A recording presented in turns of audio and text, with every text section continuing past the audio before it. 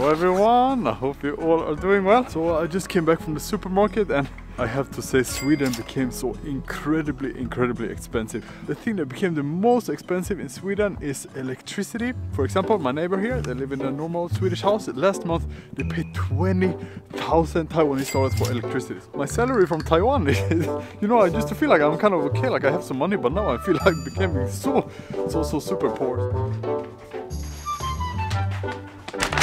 Wanted to share with you guys some of the prices now compared to one year ago. A year ago already one package of butter is 48 and we feel like oh my god butter is getting so expensive. How come it getting so expensive?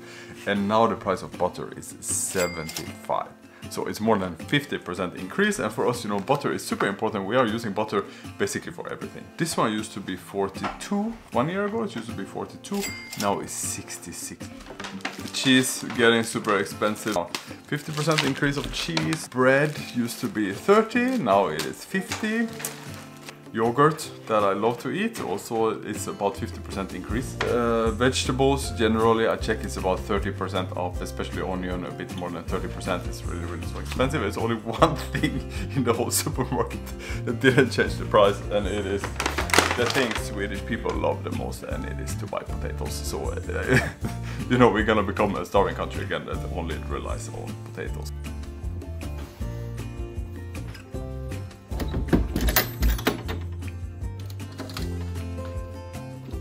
Very simple Swedish style sandwich. And now the starting cost for this, you know, the bread uh, 150, the butter more than 200, the cheese more than 300, it's something like 700 in the starting cost. Then of course you can make a large sandwich for this, but 700 just to make a simple sandwich. You know, I'm coming back from Taiwan and it's the first time I'm feeling like I'm kind of poor, like I cannot afford uh, the, this country anymore. The thing that is getting really crazily, crazily expensive in Sweden is electricity.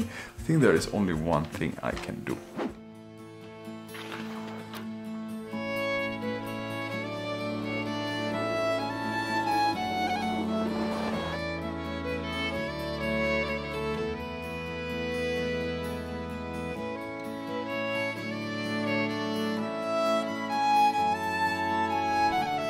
Okay, so I'm walking on the road, the weather became really fantastic.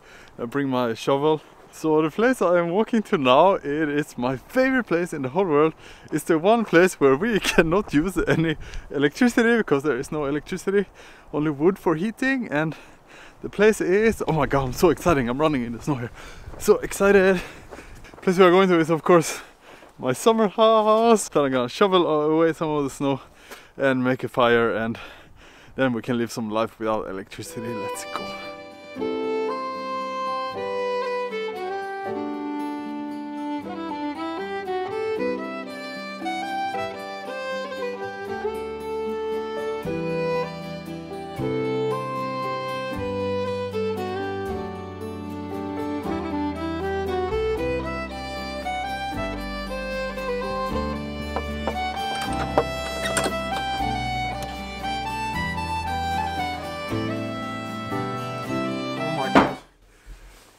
It's so nice to be back here, but it is so cold. I want to make up a fire really quickly.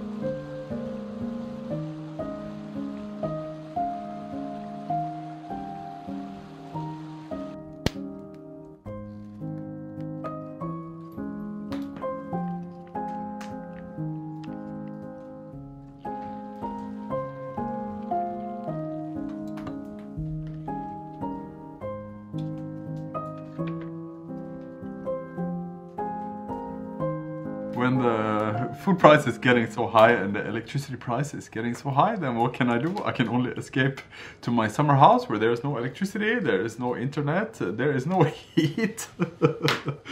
it's only, of course, I need to make my own fire here. And actually, it is. Uh, it sounds like you know, making heat with fire. It's not like 100 years ago, but actually it's quite smart. It's kind of, kind of economical because all of the trees comes from my father's forest. So, you know, we can just cut down the tree and then let it dry for a while. Then we can make a fire like this. It's amazing. And um, for the food, I'm so grateful and happy that I brought these Taiwanese noodles. I'm always uh, bringing the Nyorumian. It's my favorite flavor. I didn't bring any chopsticks, so I have to eat like this. In Taiwan, I eat a lot of different instant noodles, but here in Sweden, oh my god. Sorry, guys. Oh my god, you know. Uh, this Nyorumian, it really fits so well together in Sweden. So I'm so happy that, uh, you know, Taiwan also is saving my economy. Didn't have to buy any food. I've only been in Sweden for one week, but I feel like I've been gone for so long time. You can see how cold it is here because of all of the steam. oh my god. Oh my god. This tastes so amazing. The good thing about this Nyorumian is that I got like chunks of meat. Now I don't find any, but there should be some chunks in there. Yeah, I got one. Mm, mm, mm, mm. Mm. So the reason that Sweden has become so expensive, the first reason is of course inflation after COVID. That is felt everywhere in the world. I know in the US they have a lot of problem. Everywhere in Europe they have a lot of problem for this.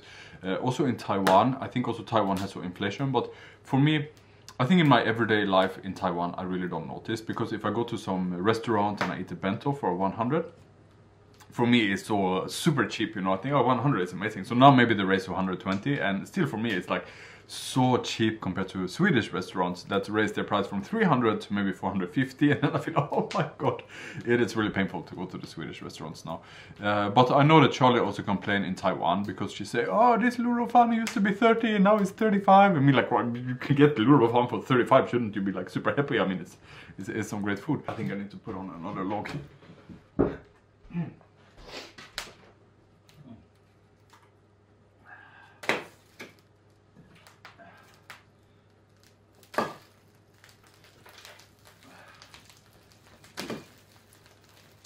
And the second reason is of course because of the war uh, that Russia attacked uh, Ukraine. The big way that we really notice this is that the electricity prices are going really crazy because Europe used to import a lot of natural gas from Russia. We are very dependent, I think especially Germany. And uh, of course because of the war, Russia say we don't want to sell any more natural gas and Europe say we don't want to buy any more natural gas. So now uh, it's getting like we can produce too little electricity so the prices are getting very very high uh, and the price went up from 0.5 for one kilowatt hour to 8 so it is 16 times the price to heat your house. And then my neighbor or my friend who use electricity to heat up their house and then they get the electricity bill and they're checking like, oh my god, it's 20,000 or it's 35,000 or it's a, it's a Taiwanese salary basically. And also for the Swedes, maybe the salary here is a little bit high, but you know, 35,000 and this is not for your rent, this is for your electricity. So people in Sweden are getting really, really shocked because the electricity became so expensive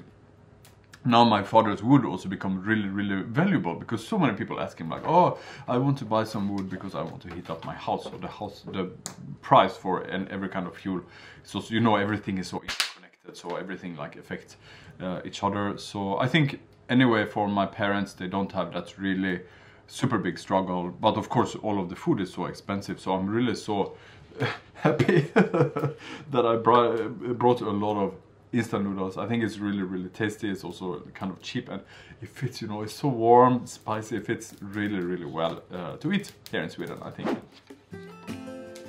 Okay, so I finished my instant noodles. Now it was super tasty. Now I feel a little bit like I'm warmed up inside. Uh, and in today's video, I wanted to give a little update. Basically, I was shocked. When I went to the supermarket, I was shocked to see this price. I was really, really shocked. And also when I hear about the electricity price, I'm shocked. So I wanted to give a little update. Also escape here to my summer house, make a fire, eat some uh, Taiwanese food. And I think it really kind of saves my life and saves my economy. So um, yeah.